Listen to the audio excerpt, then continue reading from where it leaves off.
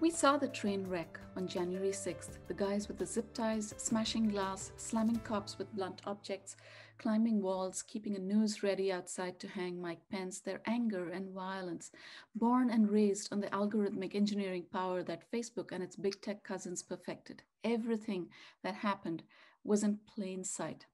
They were preparing for this from the day of the election. Where does this all go? And what will change and for whom? It's my pleasure to welcome Marietje Schaake, International Policy Director at Stanford University Cyber Policy Center and International Policy Fellow at Stanford's Institute for Human-Centered Artificial Intelligence. Marietje has served as a member of European Parliament for the Dutch Liberal Democratic Party. She brings a unique perspective simply because of the geographical scope of her work. Marietje, uh, the reactions were quick, mostly predictable. If anyone wanted proof that talk is cheap. We got loads of it. So for years, they've been hiding behind abstractions, the platforms, stuff like we want to collect, connect the world, whatever. It's time to account for what's broken and what needs to be done to fix it. Over to you.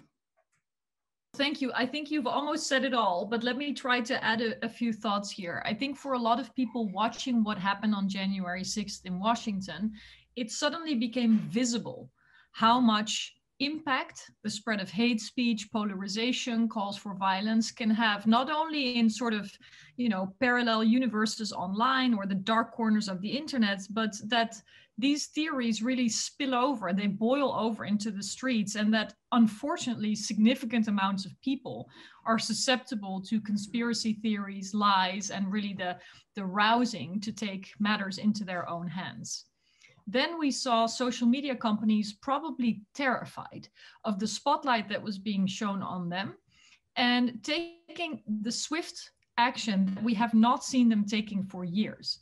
Civil rights groups, minority groups, women have all been very concerned about the uh, growing vitriol that they saw online and what it might lead to ultimately.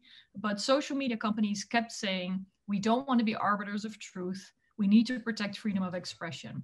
And there they were, Twitter first, then Facebook, reluctantly YouTube, banning President Trump still then, now Donald Trump from their platforms. And showing also that they were capable of taking a position after basically paving his platform for four years. And so the big question is now, what will this lead to? I hope it will not be a distraction from the need for democratic governments to set these frameworks because I frankly think we cannot expect the same companies that have created the problem to solve it for us. We really need more independent oversight, clear rules about where not only free speech is protected, but also public safety, the public interest, public health, and so forth.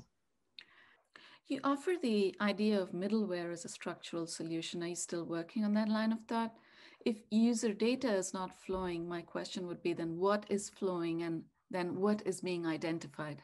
Uh, it's it's a work in progress together with my colleague Frank Fukuyama and others who have worked on this where uh, we started to look at how to mitigate excessive platform power through antitrust mechanisms but then we came to uh, the conclusion that specific remedies are needed to address the specific harms to democracy and one idea is to give the user, so you and I, more agency and choice over what content you want to see.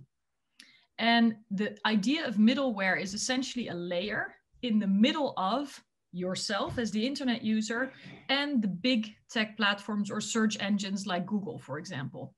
And essentially, trusted parties or organizations can say, you know, we will create middleware so that if you go uh, shopping, you will only find products from a certain area, or maybe only biological products. Or if you go online, you only get content from these kinds of newspapers, or we prefer civil society links to come up on top. So basically, it curates your your returns on searches and the presentation of, of content in a way that better suits your own choices, not the ad driven, algorithmically amplified propositions, links, micro targeting that the platforms come up with today.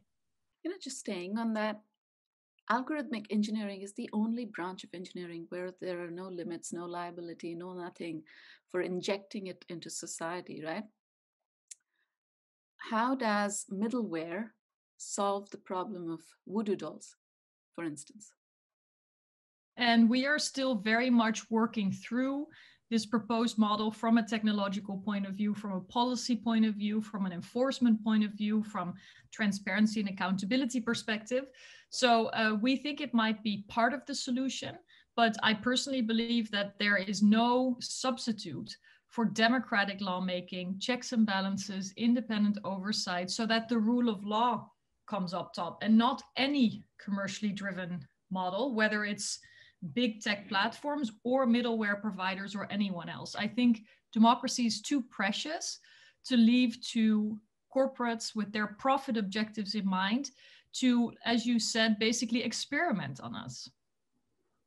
It's become popular at both ends of the political spectrum to dump on Section 230, a provision of the 1996 Communications Decency Act that pretty much uh, created the modern internet, 26 words inside of it. And I get that you know calls have been growing to uh, moderate content and so on, but it is complex, it is costly, it is inherently political. Your take?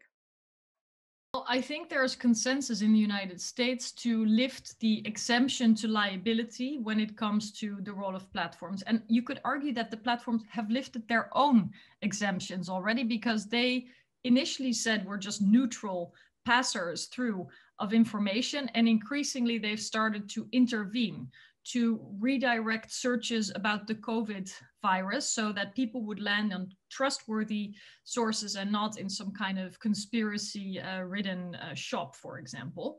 Uh, and so we've seen growing amounts of intervention but again from a commercial incentive not from a democratic incentive. And so what i hope is that any review of the section 230 will not be a black and white discussion about either all liability or no liability, because I think that's a very unhelpful uh, lens to look through because then people polarize and it's very easy for the tech companies to say that you know it will end the internet as we know it.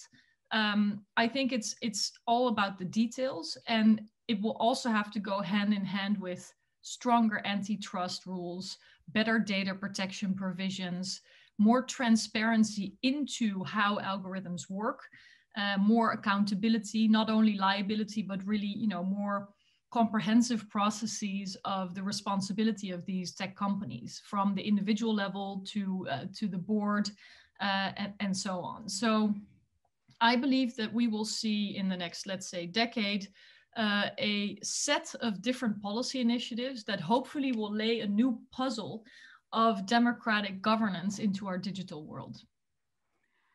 We know this stuff happens in fits and starts, but what's low hanging fruit? What do you think happens first now? At least in the United States and the European Union, a lot of movement in the antitrust space. I think that will continue. Um, but what I hope will happen is that there will also be more sort of horizontal provisions, principally based provisions, which will push for more transparency and access to information. One of the real problems is that whether you're an academic researcher or an average internet user or a journalist or a parliamentarian anywhere in the world, you have a very difficult time to discern, to understand, to uh, comprehend what happens under the hood of these tech companies, even if their power grows and grows and grows. And so having the right kind of access to the right kind of information for the right actors, I think is, is an integral part of the rule of law. We have to have transparency. And this is a new challenge when the algorithm, algorithms and machine learning processes constantly change.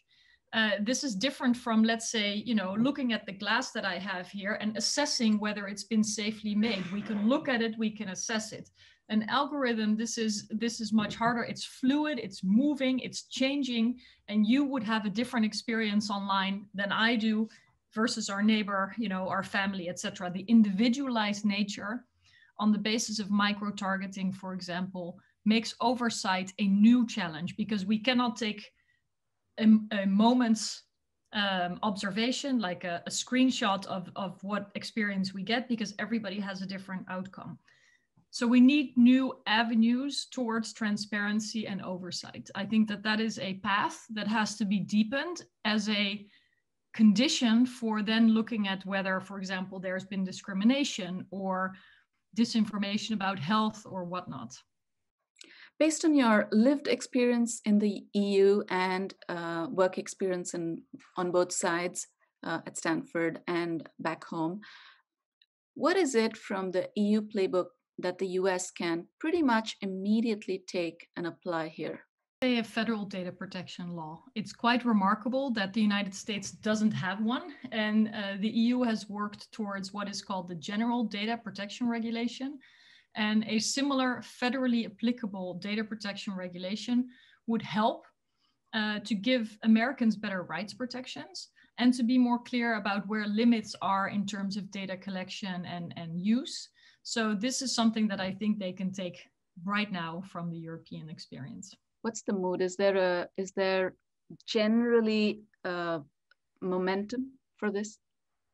Yeah, I think that the the observation is that there's a lot of change happening very quickly. That we're really reaching a tipping point, particularly when it comes to social media and search companies.